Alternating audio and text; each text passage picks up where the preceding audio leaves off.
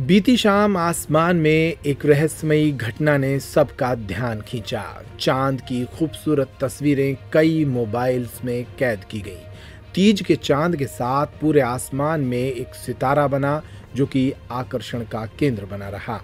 वैसे तो सौर मंडल में कई खगोलीय घटनाएँ होती हैं, पर बीती शाम आकाश में जो हुआ, उसने सबका ध्यान अपनी ओर खींच लिया। हतप्रभ करने वाली इस घटना को देखने के लिए कई लोग मोबाइल लेकर आसमान की ओर आँखें टिकाए रहे। चाँद के ठीक नीचे एक सितारा था, जो कि एक हसीन नज़ारा बना रहा था। इन तस्वीरों को सोशल मीडिया पर अब वायरल किया जा रहा है और लोग खूब आनंद ले रहे हैं।